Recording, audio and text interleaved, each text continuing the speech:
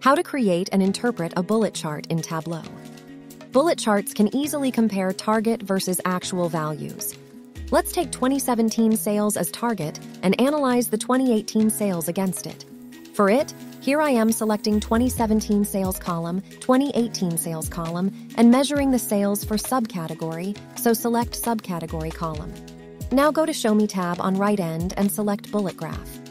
In our graph, we can see that actual values, that is 2018 sales, is depicted with blue color bars for all subcategories, and the target value, that is 2017 sales, is depicted with vertical lines against each bar.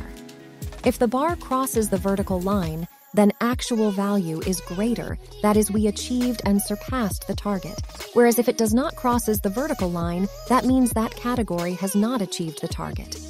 For example, here 2018 sales for machines category is less compared to 2017 sales, that is, it has not achieved the target. Don't forget to subscribe to channel for more such tutorials in Tableau and Power BI.